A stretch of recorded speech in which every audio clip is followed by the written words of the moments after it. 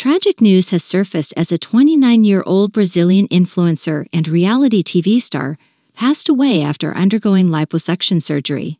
The sudden and untimely death has sent shockwaves through the online community and highlights the risks associated with cosmetic procedures, prompting discussions about the importance of safety in such medical interventions.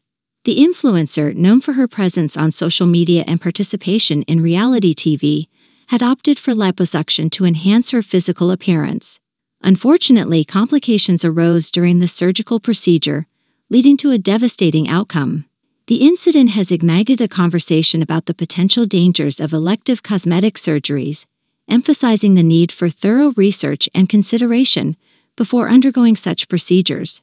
The tragic event serves as a stark reminder that even seemingly routine surgeries carry inherent risks and individuals should prioritize their health and safety when contemplating cosmetic interventions.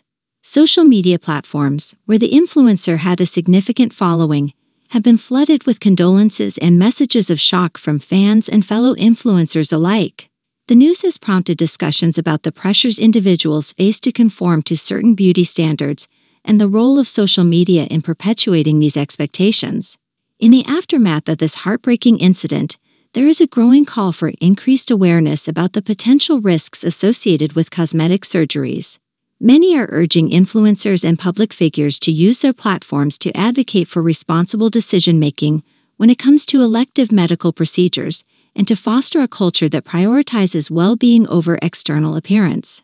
The tragedy also highlights the need for stringent regulations and oversight in the cosmetic surgery industry to ensure the safety of individuals seeking such procedures.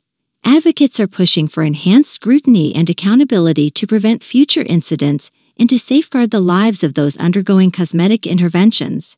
As the influencer's untimely death reverberates through social media and beyond, it serves as a poignant reminder of the fragility of life and the unforeseen consequences that can arise from elective medical procedures.